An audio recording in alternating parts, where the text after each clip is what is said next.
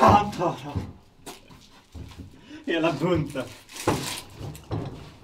Hela rasken.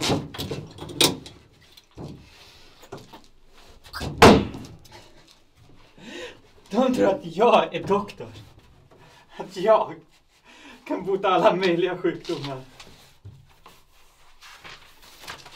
Jag kan ingenting. Jag har glömt allt som jag kunde. Minns ingenting. Absolut ingenting. Fan ta!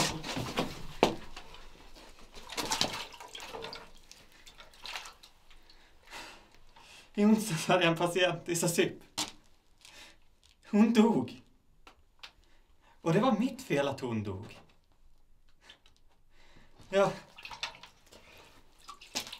för 25 år sedan kanske jag kunde en del, men inte längre. Jag har glömt allt som jag kunde. Det är tomt i huvudet och kallt i själen.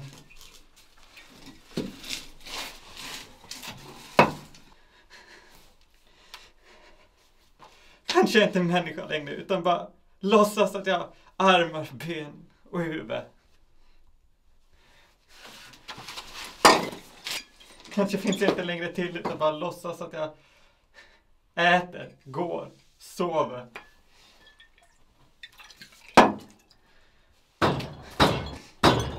Och jag slapp finnas till!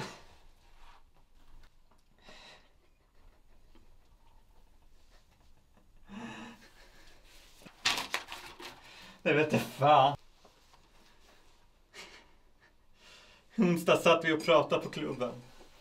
Shakespeare. Voltaire. De hade likadant. Tarvligt. Ynkligt. Och så kom jag att tänka på den där kvinnan jag hade död för onsdags.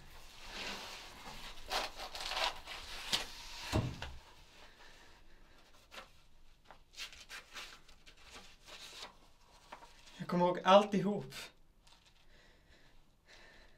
Jag minns att jag kände mig tarvlig, ful, avskyvärd.